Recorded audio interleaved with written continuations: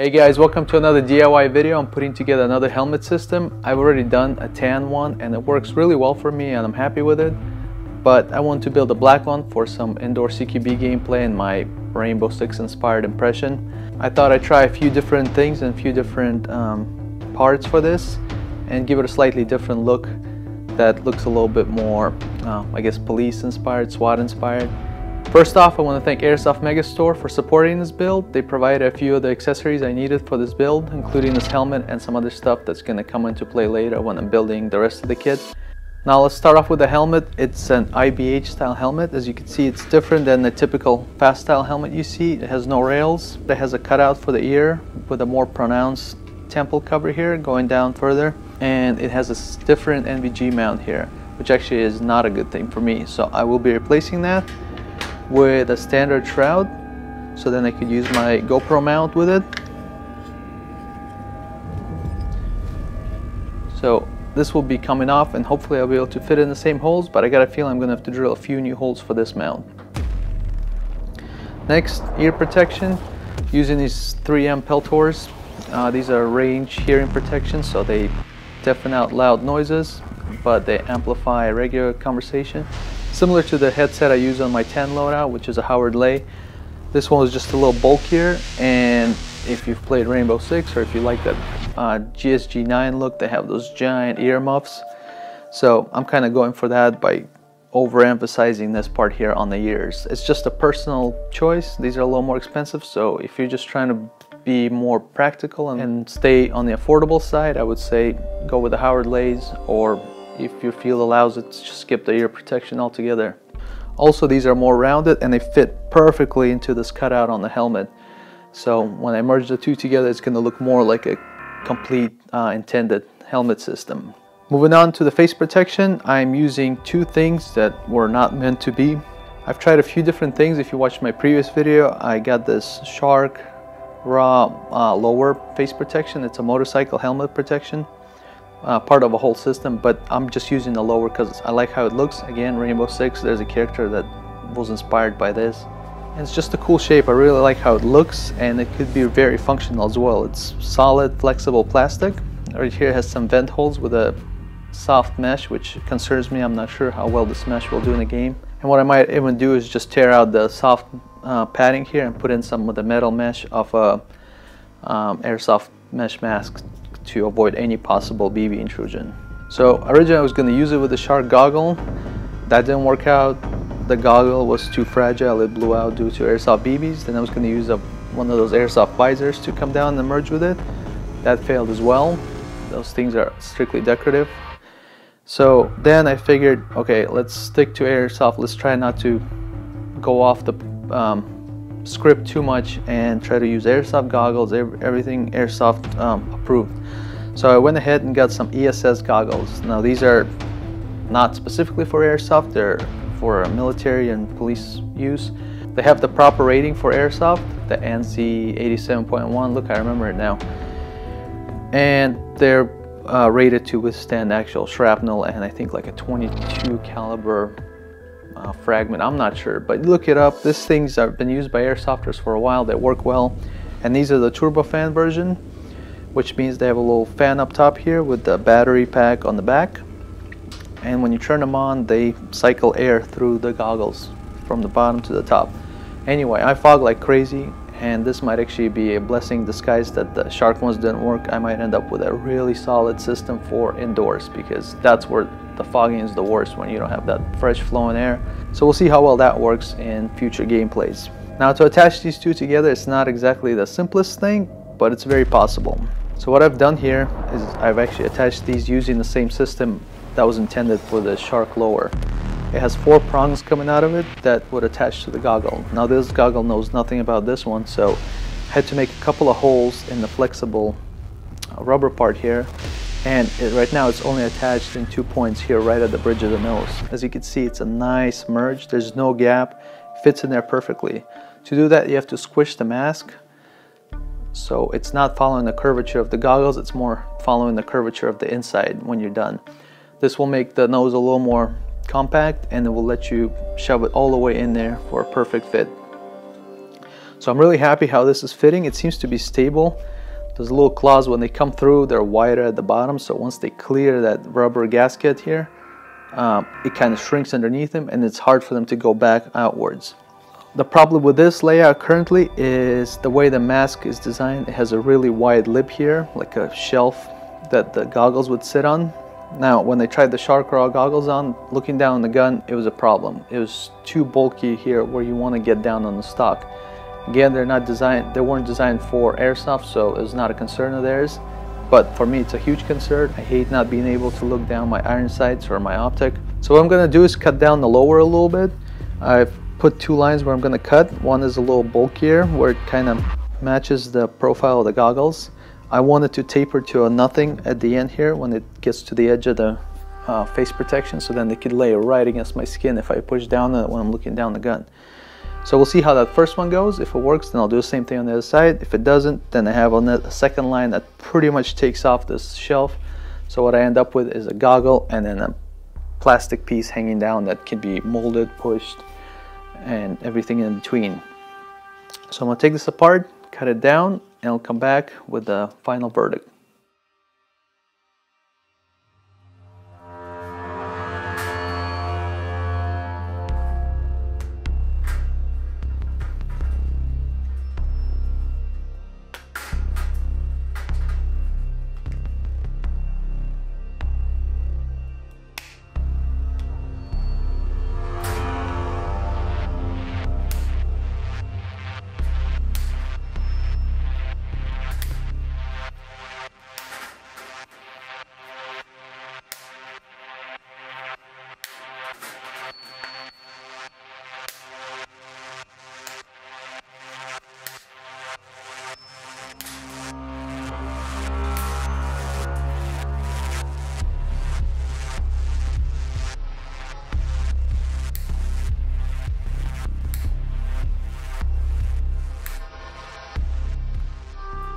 Okay, one side down, uh, I went the more conservative route. That seems to work really well. I quickly realized the line I had drawn was going to cut off the prong that connects up front, so be sure you don't do that. Um, so I cut it. It was real tough to cut. This really sturdy plastic, so zero worries about it breaking due to airsoft. Uh, scissors are probably not going to work. I managed to use these uh, wire cutters but it's on here. I tried it on as you saw as I kept going, I kept trying it and now I could get down the sides properly. This part just bends down all the way to my skin. And back here I now have a soft foam padding everywhere against my skin versus here where I had that plastic shelf just digging in here. I probably still have a red mark from it. So I'm happy with how it looks. Next step is I'm going to take it to the bench, grind it off, smooth it out, and permanently connect it so we can be done with the goggle and the lower portion. Next I'm going to work on the helmet. It's kind of a two separate projects going on here. First is the mask and the goggles and then we have the helmet, the headset and the NVG system. What I like about this helmet, it comes with a nice padding here that you could put in later and that's going to work really well for me. For now I'm just going to set it aside. I will be using the headset in here and just like with my previous build I'm going to go ahead and tie it into the helmet permanently so it's attached uh, via a couple of screws so then I'm never fumbling with it. It's always in the same place. Everything lines up properly. But first thing I'm gonna do is take off all these straps. I don't really need them with um, goggles lower and the headset on my head. It's gonna stay in place just fine. What I might end up doing is building a chin strap that just runs from uh, these little protruding sides under my chin and locks in place with the existing hardware. But for now, all this is getting in the way of the overall build, so I'm gonna take off all the straps, leave the foam off for now, and keep all the hardware because it's already nice and black so when we go on and either add this on here or some more custom stuff down the road we can use those black screws so everything stays nice and stealth and consistent. Alright, I'm going to take off all the straps and try the NVG mount.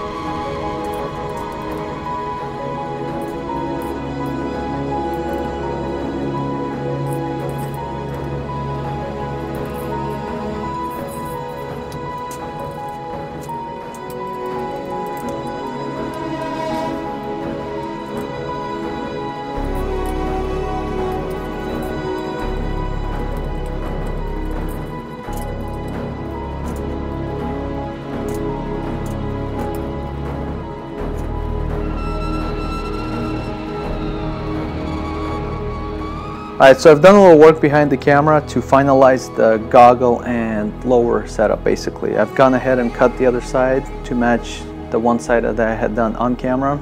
Uh, then I went and kind of smoothed it out with the Dremel tool a little bit.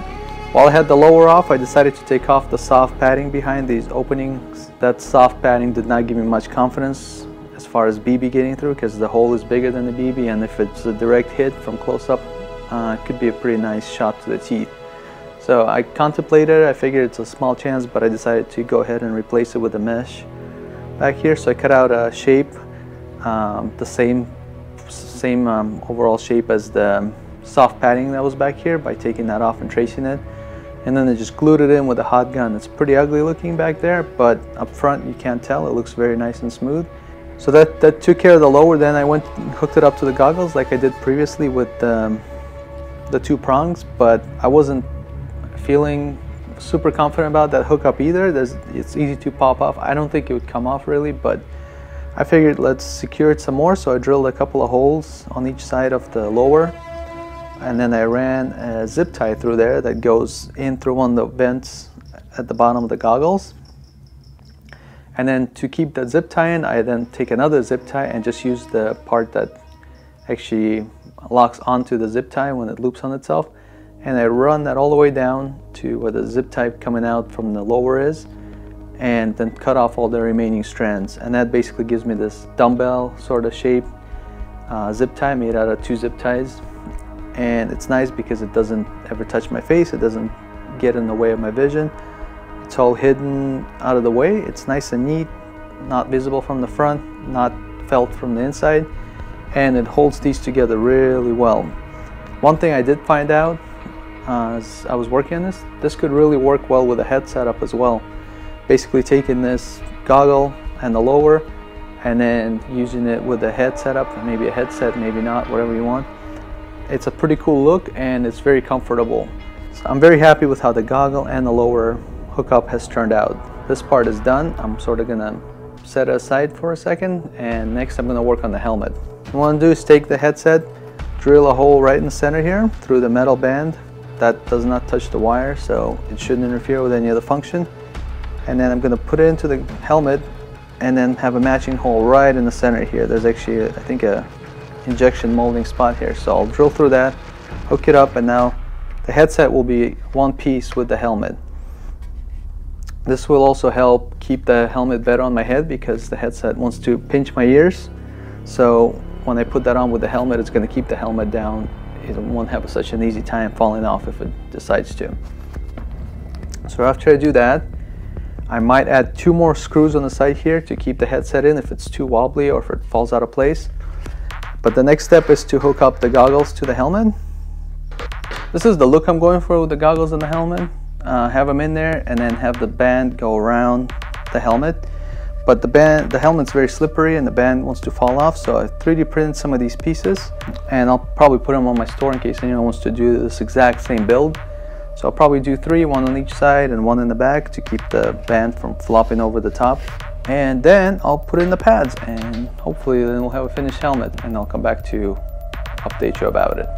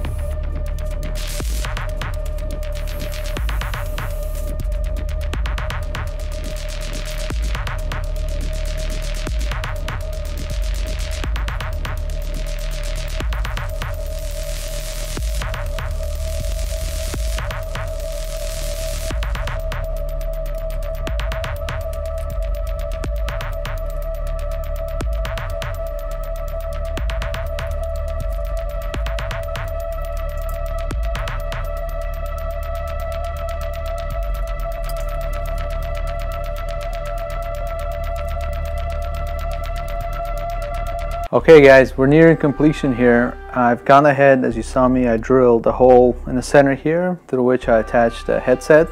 It's pivoting now, but um, it's not really a big issue because the, the cutouts for the earmuffs here, when it fits in there, has nowhere to go.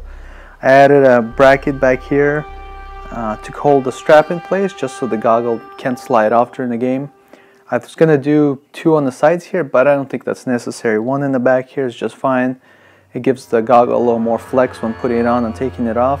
And then another thing I did was shave away down here on the front of the helmet a little bit for the recess of the fan on the goggle because they didn't really want to line up. It's a bump on top of the goggle.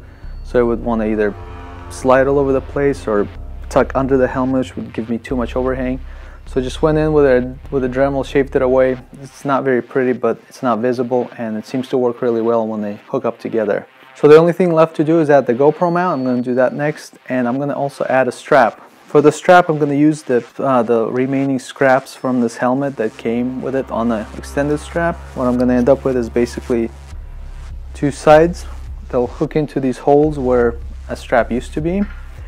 And then there'll be a a little buckle here that hooks them up and there's an adjustment little loop here that I could tighten or loosen this. And that will just keep the helmet from falling off my head. It's on there pretty tight but if I did a roll or something or fell down really hard there's a chance it could come off. So the little uh, neck strap chin strap is just going to keep it in place. So I'm going to go ahead and get the GoPro mount on here clean up some of these screws that are protruding out paint up this part that I chiseled away just to give it a nice clean finish and I think this project will be done. Alright, well, the project is finally finished. It took a lot of hours, if I had to guesstimate, um, probably about 10 hours maybe I've put into this. But I was figuring stuff out along the way, so um, you having this guide, it'll probably be a little shorter for you. But since I last left you, I got the GoPro mount on here. Uh, it does not go in the existing holes. I had to move it up about, um, about three quarters of an inch and the alignment is a little off, it's pointing a little down. I think the slope of the front of the helmet's a little steeper than the more modern fast helmets and um, airframes. So the camera's pointing a little too far down. That's okay, I'm just gonna put a little padding back here to set it a little bit more forward. Uh, I've added a piece of Velcro on the top here to cover up the screw that I cut off and uh, finalized. All the screws I put in, I put blue Loctite just to keep them a little bit more permanent so there's no wiggle out. I had a couple little patches of Velcro on the side to cover up the 3M logo because I think it's a little distracting. And I went in and glued down all the pads inside. That they were they were already preset for that. They had the double-sided uh, Velcro. I just peeled off the stuff. Now that I'm happy with it, glued it down. So the helmet is ready to go. And one last thing I did was add the strap I mentioned earlier. Screwed it into the existing holes here behind the goggle strap and it works really well. It's adjustable, clicks in just like the one on my tan setup and keeps the helmet on really well. On the back I had another strip of velcro and that covered up the holes that were here from the previous strap system and added my call sign. So that's pretty much it. I'm really happy with it. The helmet's very comfortable, it's very stable.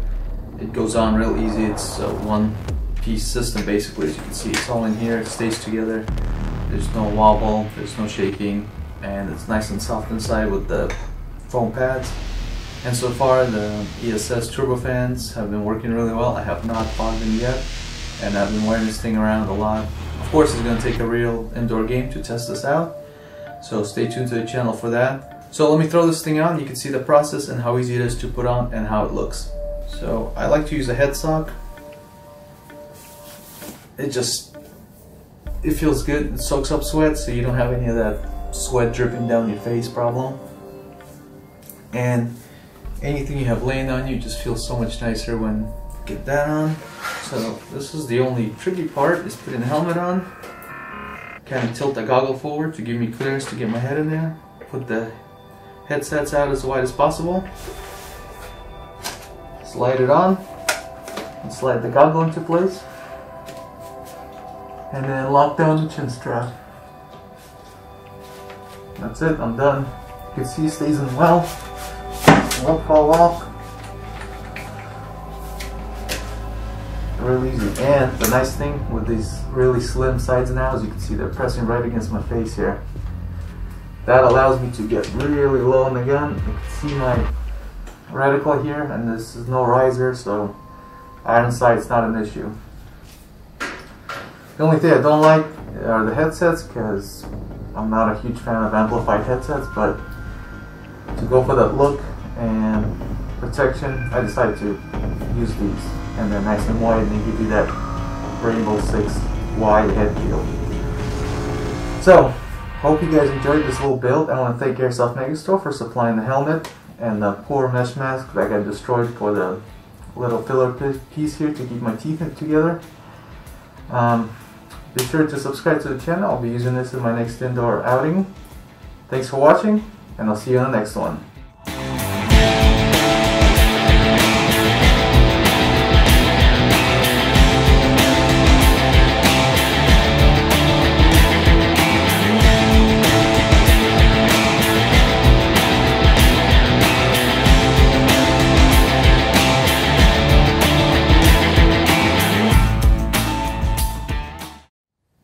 It off is just as simple. It's actually easier than take putting it on. Un unbuckle and remove.